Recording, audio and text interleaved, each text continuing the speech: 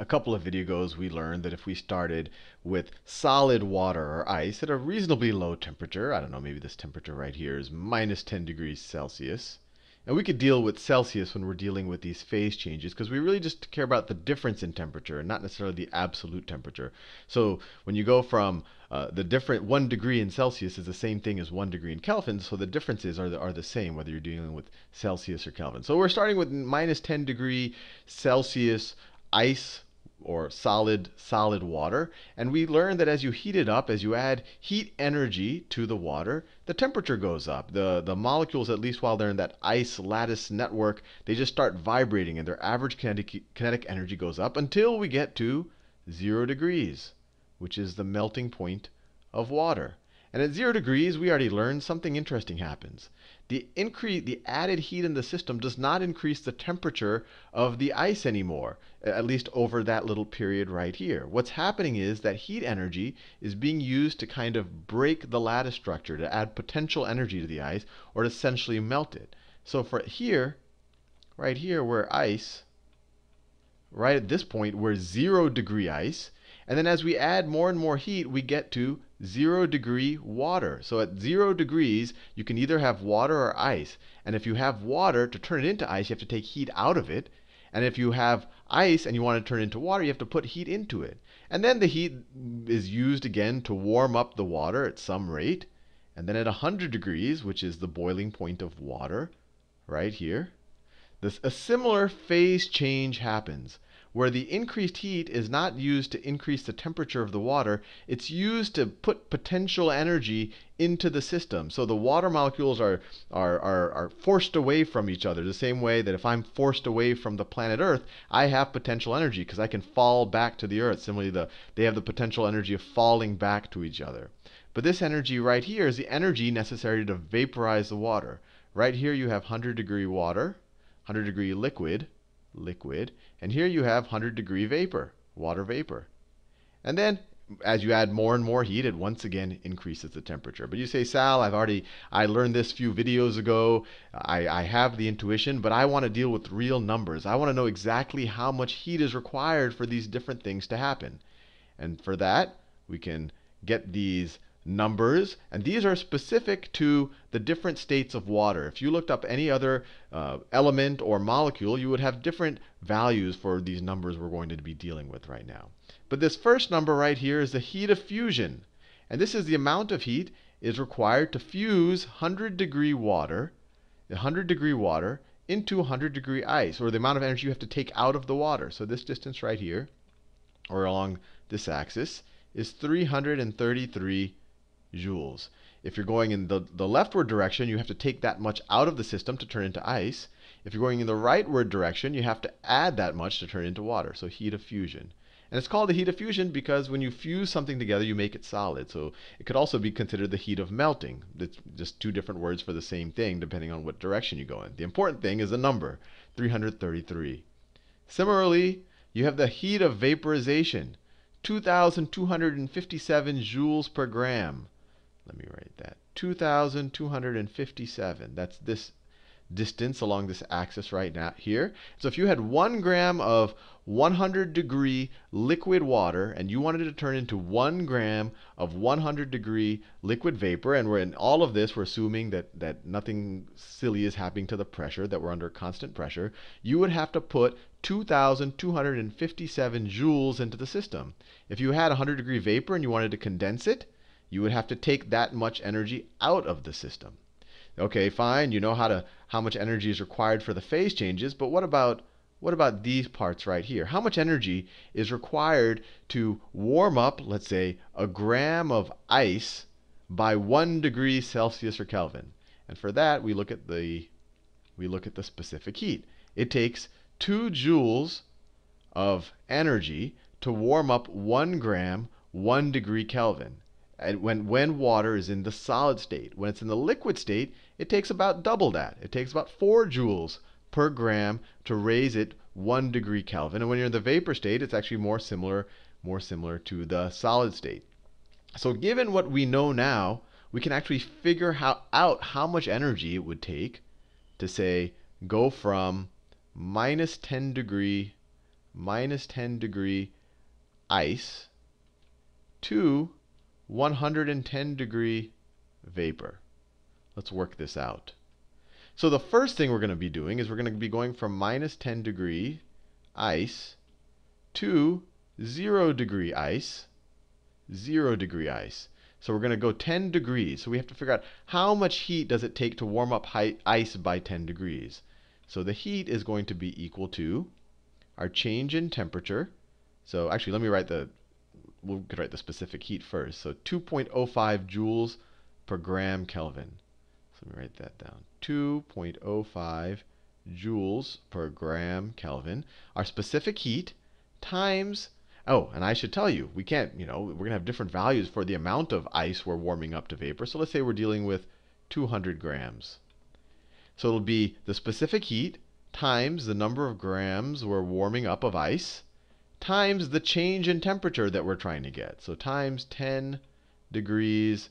Well, this is Kelvin here. So let's just say where it's a 10 degrees Kelvin change. It doesn't matter we're using Kelvin or Celsius. I could have written a Celsius here, 2 in the units. Let's put Celsius right there. Celsius so what is that equal to? Get the calculator, uh, clear it out. 2.05 times 200 times, whoops, let me do it over. 2.05 times 200 times 10 is equal to 4,100 joules. Joules. Let me do this in a different color. So we're, this is 4,100 joules. Fair enough. Now, so what we've done is just this part right here. This, this distance right here is 4,100 joules. Now we have to turn that 0 degree ice into 0 degree water. So now we have to go 0 degree ice to 0 degree water.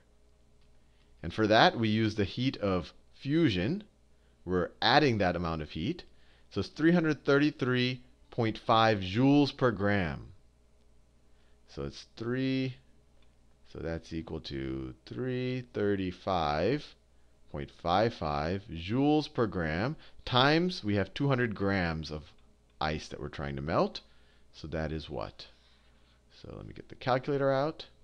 So I have 335.55 times 200 is equal to 67,110. So we have, so that's equal to, let me do it in that color so we can sum them up at the end. 67,110 joules to melt the water. Now, or take it from ice to water. Now we have to go from, and this is the big one, we have to go from 0 degree water to 100 degree water to 100 degree water, or liquid water, right? And this is in the liquid state. So now we take the specific heat of water, which was 4.18178.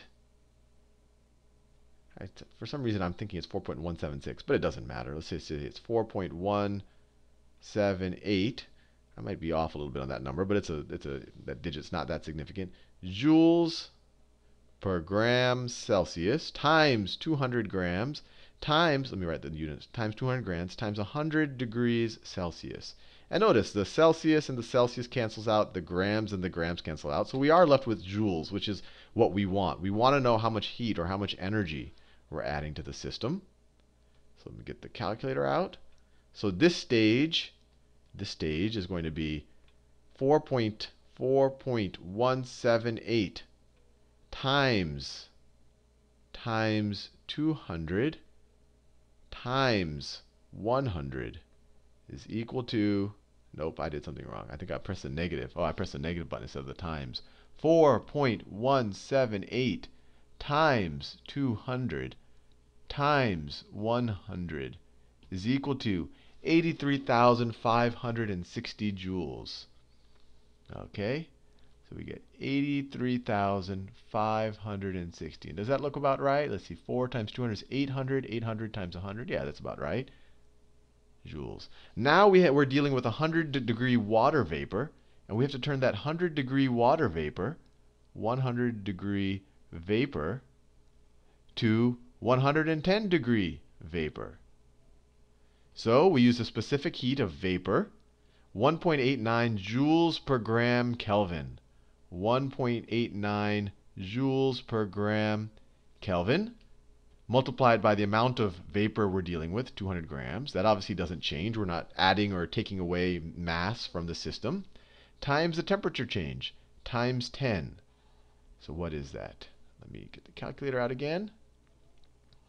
So we're dealing with a 10 degree change, 10 degree Celsius, times 200 times 1.89 times 1.89 is equal to 3,780.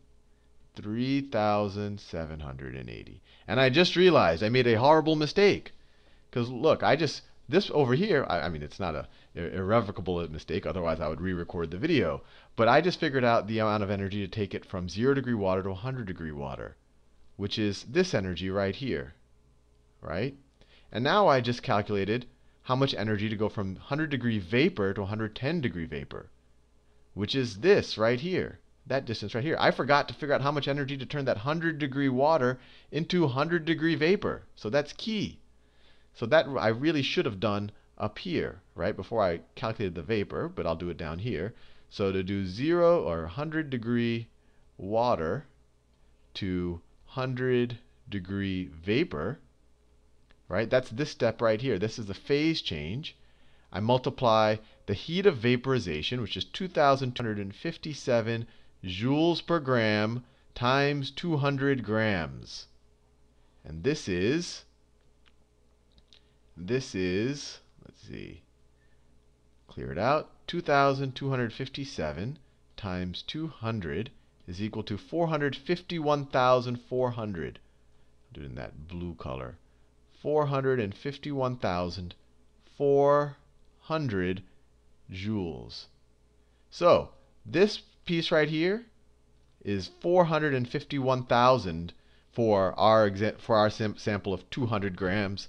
This piece right here was 83,000 joules. This piece right here was 3,780 joules. So to know the total amount of energy, the total amount of heat that we had to put in the system to go from minus 10 degree ice all the way to 110 degree vapor, we just add up all of the energies we had to do to all of these steps. Let's see. And I'll do them in order this time. So to go from to go from minus 10 degree ice minus 10 degree ice to 0 degree ice, and of course we have 200 grams of it, it was 4,100. 4,100 plus, plus, I'll just plus the 67,000. So plus, I'm just doing this off the screen. So plus 67,1110 plus 83,000, that's to go from 0 degree water to 100 degree water, plus 83,560. So we're at 154,000 right now, to, just to get to 100 degree water. And then we need to turn that 100 degree water into 100 degree vapor. So you add the 451,000. So plus 451, 400 is equal to 606. And then finally, we had, we're at 100 degree vapor, and we want to convert, convert that to 110 degree vapor. So it's another 3,700 joules. So plus 3,780 is equal to 609,950 joules. So to, this whole thing, when we're dealing with 200 grams, when you're going from minus 10 to 110, and remember, this is for 200 grams, it took us 609,950 joules, or 609 kilojoules, to do this. And before, so that by itself is an interesting thing. You might think, oh, wow, this is a huge number, but it actually turns out joules isn't a lot of work. Kilojoules starts to become a little bit interesting. Because you might realize 200 grams of ice, that's that's about half a pound of ice. So to take half a pound of ice and uh, to warm it up on your stove would take 609 kilojoules kilojoules of heat to do that. So that's something that you probably could do on your stove at home.